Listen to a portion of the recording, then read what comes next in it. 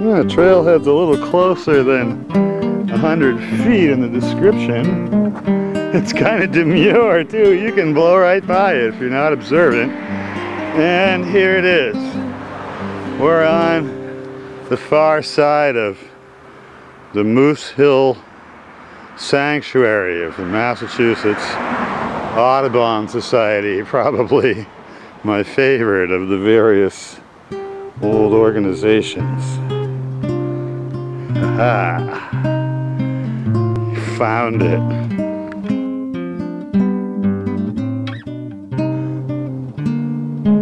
We're at the Bluff Trail. Already discovered the charming Massachusetts Audubon signage system, which has few equivalents. I like them because they're named after a guy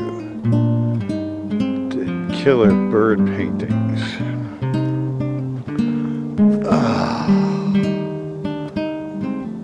So let's see. The trail description claims a bunch of steepness.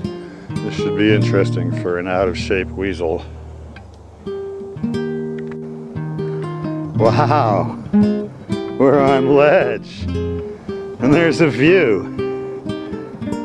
This panorama principally focused to the west.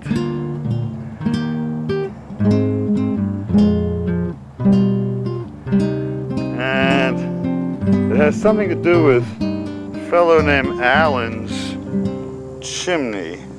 I don't understand what the chimney's about. It's some Yankee equivalent to an English garden folly, I suppose. Maybe there was a lodge here or strange Yankee barbecue rituals. Some such thing. Allen's chimney. There's some steepness, but it was short and sweet. Of course, there may be more in the wings. Check back later. Oh man, I sure am glad I'm going down this thing and not up it. It's really steep. Going the other way wasn't too bad. Uh, more gradual, almost like a modified stoss and lee form or something. Woohoo!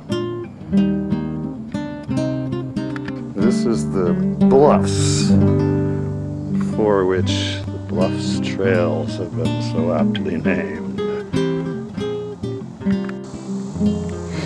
And here's a short sweep of the cliff edge just to give you a sense of what we got. Good Lord. It's pretty impressive for little Massachusetts. We don't have big stuff, but what we got is cute. Has its own grandeur. Wow. Look at her go. Woohoo. Yeah, this might be some kind of Stossen leaf formation. I'll know more as I exit, which is this way.